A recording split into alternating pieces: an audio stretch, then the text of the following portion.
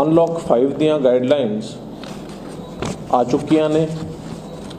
ਇਹਨਾਂ ਗਾਈਡਲਾਈਨਸ ਦੇ ਵਿੱਚ ਜਿੰਨੀਆਂ ਵੀ ਆਪਣੀਆਂ ਰੈਸਟ੍ਰਿਕਸ਼ਨਸ ਆਪਾਂ ਪਹਿਲਾਂ ਲਗਾਈਆਂ ਸੀ, ਉਹਨਾਂ 'ਚ ਕਾਫੀ ਹੱਦ ਤੱਕ ਰਿਲੀਫ ਦਿੱਤਾ ਗਿਆ ਹੈਗਾ। ਇਸ ਸਬੰਧ ਦੇ ਵਿੱਚ ਅੱਜ ਅਸੀਂ ਇਹ ਹੁਕਮ ਜਾਰੀ ਕੀਤਾ ਹੈ। ਇਹਦੇ ਵਿੱਚ ਹੁਣ ਜਿਹੜੀ ਟਾਈਮ ਦੀ ਰੈਸਟ੍ਰਿਕਸ਼ਨ ਸੀ ਕਿ ਅਸੀਂ ਰਾਤ ਦਾ ਕਰਫਿਊ ਇੱਕ ਤੇ ਉਹ ਇੱਕ ਤਰੀਕ ਤੋਂ ਜਿਹੜਾ ਹੈ, ਹਟਾ ਲਿਆ ਗਿਆ ਹੈਗਾ। ਵੀਕਐਂਡ ਦੇ ਉੱਤੇ ਰੈਸਟ੍ਰਿਕਸ਼ਨ ਸੀ ਕਿ ਸੰਡੇ ਵਾਲੇ ਦਿਨ ਉਹ ਹੁਣ ਕਿਸੇ ਕਿਸਮ ਦੀ ਵੀਕਐਂਡ 'ਚ ਕੋਈ ਰੈਸਟ੍ਰਿਕਸ਼ਨ ਨਹੀਂ ਹੋਏਗੀ।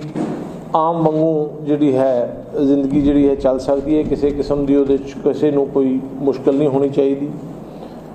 ਦੂਸਰਾ, ਜਿਹੜੀਆਂ ਸ਼ਾਪਸ ਦੀਆਂ ਟਾਈਮਿੰਗ ਸੀਗੀਆਂ ਉਹ ਵੀ ਟਾਈਮਿੰਗਸ ਜਿਹੜੀਆਂ ਹੈਗੀਆਂ ਬਿਲਕੁਲ ਰੈਸਟ੍ਰਿਕਸ਼ਨ ਸਾਰੀ ਦੀਆਂ ਸਾਰੀਆਂ ਖਤਮ ਕਰ ਦਿੱਤੀਆਂ ਗਈਆਂ ਨੇ। ਕਿਸੇ ਕਿਸਮ ਦੀ ਹੁਣ ਸ਼ਾਪਸ ਦੇ ਖੁੱਲਣ ਤੇ ਕੋਈ ਰੈਸਟ੍ਰਿਕਸ਼ਨਸ ਨਹੀਂ ਹੈ। ਸੋ ਉਹ ਆਮ ਵਾਂਗੂ ਹਰ ਦਿਨ ਆਪਣੇ ਹਿਸਾਬ ਨਾਲ ਖੋਲ ਸਕਦੇ ਹੈਗੇ ਨੇ। ਜਿੱਥੋਂ ਤੱਕ ਸਮਾਗਮਾਂ ਦਾ ਸੰਬੰਧ ਹੈ, ਜਿਸ ਤਰ੍ਹਾਂ ਅਸੀਂ 30 ਜਾਣਿਆਂ ਦੀ ਲਿਮਿਟ ਪਹਿਲਾਂ ਸਮਾਗਮਾਂ ਤੇ ਲਗਾਈ ਸੀ, ਉਹ ਹੁਣ ਵਧਾ ਕੇ ਜਿਹੜੀ ਹੈ 100 ਕਰ ਦਿੱਤੀ ਗਈ ਹੈ। ਸੋ ਜਿਹੜੇ ਵੀ ਸਾਡੇ ਕੋਈ ਧਾਰਮਿਕ ਸਮਾਜਿਕ ਸਮਾਗਮ ਹੈਗੇ ਨੇ ਉੱਥੇ 100 ਜਾਣੇ ਤੱਕ ਦੀ ਜਿਹੜੀ ਹੈ ਗਿਣਤੀ ਅਲਾਉਡ ਹੈਗੀ ਹੈ। ਇਸੇ ਤਰੀਕੇ ਨਾਲ ਜਿਹੜੀਆਂ ਸਾਡੀਆਂ ਵਾਹੀਕਲਸ ਗੱਡੀਆਂ ਚੱਲਦੀਆਂ ਸੀ, ਬੱਸਾਂ ਜਾਂ ਕਾਰਾਂ ਦੇ ਵਿੱਚ ਰੈਸਟ੍ਰਿਕਸ਼ਨ ਸੀ ਕਿ ਕਿੰਨੇ ਵਿਅਕਤੀ ਬੈਠ ਸਕਦੇ ਹੈਗੇ ਨੇ ਡਰਾਈਵਰ ਤੇ ਸਿਰਫ ਦੋ ਜਾਣੇ, ਉਹ ਰੈਸਟ੍ਰਿਕਸ਼ਨਸ ਵੀ ਸਾਰੀਆਂ ਵਾਪਸ ਲੈ ਲਈਆਂ ਗਈਆਂ ਨੇ।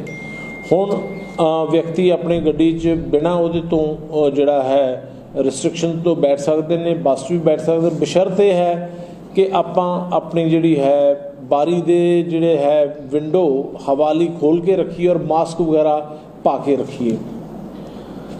ਦੂਸਰਾ ਕੰਟੇਨਮੈਂਟ ਜ਼ੋਨ ਜਿਹੜੇ ਬਣਾਏ ਜਾਣਗੇ ਕੰਟੇਨਮੈਂਟ ਜ਼ੋਨਸ ਉਹ ਪਹਿਲਾਂ ਵਾਂਗ ਉਹਨਾਂ ਦੇ ਸਾਰੀਆਂ ਹੀ ਜਿਹੜੀਆਂ ਸ਼ਰਤਾਂ ਲਾਗੂ ਰਹਿਣਗੀਆਂ, ਉਹਨਾਂ ਦੇ ਅੰਦਰ ਜਿਹੜੇ ਘਰ ਜਾਂ ਸ਼ਾਪਸ ਹੋਣਗੇ ਕੰਟੇਨਮੈਂਟ ਦੇ ਅੰਦਰ ਜੋ ਰੈਸਟ੍ਰਿਕਸ਼ਨਸ ਲਗਾਈਆਂ ਜਾਣਗੀਆਂ ਉਹ ਪਹਿਲਾਂ ਵਾਂਗ ਲੱਗਣਗੀਆਂ, ਲੇਕਿਨ ਕੰਟੇਨਮੈਂਟ ਜ਼ੋਨਸ ਤੋਂ ਬਾਹਰ ਕਿਸੇ ਕਿਸਮ ਦੀ ਕੋਈ ਰੈਸਟ੍ਰਿਕਸ਼ਨ ਨਹੀਂ ਹੋਏਗੀ।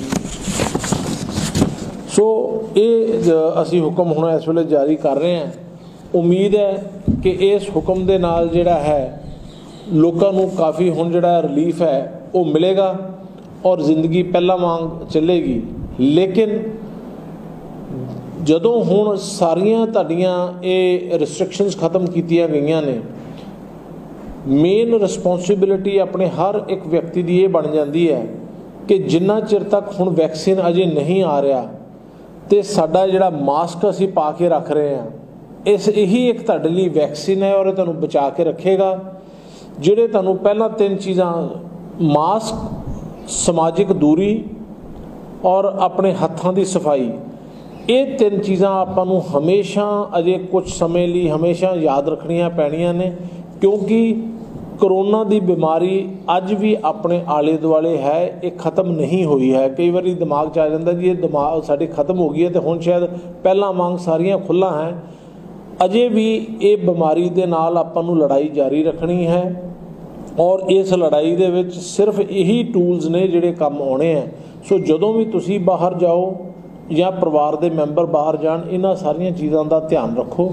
ਖਾਸ ਕਰਕੇ ਬਜ਼ੁਰਗ ਔਰ ਛੋਟੇ ਬੱਚੇ, ਉਹਨਾਂ ਲਈ ਇਹ ਬੇहद ਜ਼ਰੂਰੀ ਹੈਗੀਆਂ ਨੇ। ਬਾਕੀ ਜਿਹੜੀਆਂ ਹੈ ਗਵਰਨਮੈਂਟ ਆਫ ਇੰਡੀਆ ਦੀਆਂ ਗਾਈਡਲਾਈਨਸ 15 ਅਕਤੂਬਰ ਤੋਂ ਕੁਝ ਹੋਰ ਛੋਟਾਂ ਦੀ ਗੱਲ ਕੀਤੀ ਗਈ ਹੈ, ਲੇਕਿਨ ਅਜੇ ਉਹ ਛੋਟਾਂ ਕਿਸੇ ਕਿਸਮ ਦੀਆਂ ਪੰਜਾਬ ਸਰਕਾਰ ਵੱਲੋਂ ਕਿਸੇ ਕਿਸਮ ਦੀ ਕੋਈ ਛੋਟ ਨਹੀਂ ਦਿੱਤੀ ਜਾ ਰਹੀ। ਇਹੀ ਛੋਟਾਂ ਨੇ ਜਿਹੜੀਆਂ ਤੁਹਾਨੂੰ ਅਸੀਂ ਦਸੀਆਂ ਨੇ। ਸੋ ਅਜੇ ਸਿਨੇਮਾ ਹਾਲ ਤੇ ਸਵਿਮਿੰਗ ਪੂਲਸ ਦੇ ਉੱਤੇ ਪਹਿਲਾਂ ਵਾਂਗ ਰੈਸਟ੍ਰਿਕਸ਼ਨ ਸਾਰੀਆਂ ਜਾਰੀ ਰਹਿਣਗੀਆਂ। ਜਦੋਂ ਉਹਨਾਂ 'ਚ ਕਿਸੇ ਕਿਸਮ ਦਾ ਬਦਲਾਅ ਆਏਗਾ ਤੇ ਮੈਂ ਜ਼ਰੂਰ ਉਹ ਵੀ ਆਪਣੇ ਅੰਮ੍ਰਿਤਸਰ ਵਾਸੀਆਂ ਨਾਲ ਜ਼ਰੂਰ ਸਾਰਿਆਂ ਨਾਲ ਸਾਂਝੀ ਕਰਾਂਗਾ। ਸੋ ਇਹਨਾਂ ਸ਼ਬਦਾਂ ਦੇ ਨਾਲ ਉਮੀਦ ਕਰਦਾ ਕਿ ਆਪਾਂ ਸਾਰੇ ਅੰਮ੍ਰਿਤਸਰ ਵਾਸੀ ਜਿੱਥੇ ਅੱਗੇ ਇੰਨਾ ਸਹਿਯੋਗ ਦਿੱਤਾ ਅਗਾਮ ਵੀ ਸਹਿਯੋਗ ਦੇਵਾਂਗੇ ਔਰ ਆਪਾਂ ਇਸ ਬਿਮਾਰੀ ਤੋਂ ਜਲਦੀ ਹੀ, ਇਸ ਔਖੀ ਘੜੀ ਤੋਂ ਬਾਹਰ ਆਵਾਂਗੇ। ਜੈ ਹਿੰਦ।